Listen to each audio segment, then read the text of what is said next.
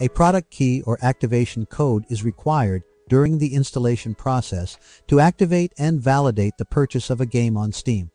Sometimes users may encounter the error invalid product key when trying to activate a game, which can be frustrating.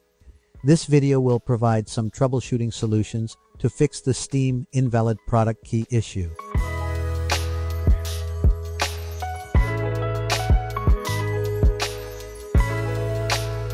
By the way, please like and share our videos to help those who has the same issue so that we can help them too. Once you're done, let's begin. Verify game files. If you're getting the error only with a particular game, checking for bad or corrupted game files may help.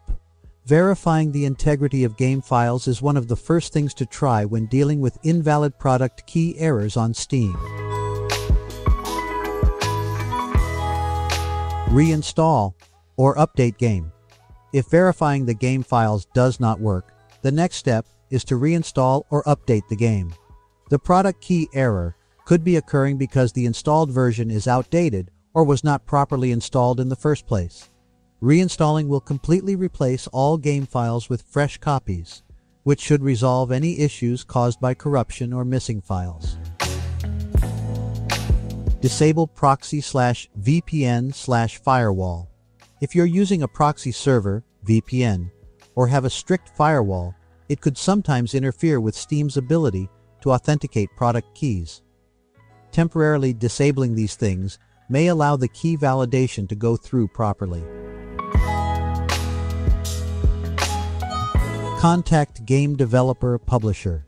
If none of the previous troubleshooting tips resolve the invalid product key error, it may be an issue on the developer publisher end. The next step would be to contact their customer service and explain the problem you are having activating the game on Steam. The game developer may have additional tools or resources to help troubleshoot the issue on their end and get your valid product key activated. Purchase game again.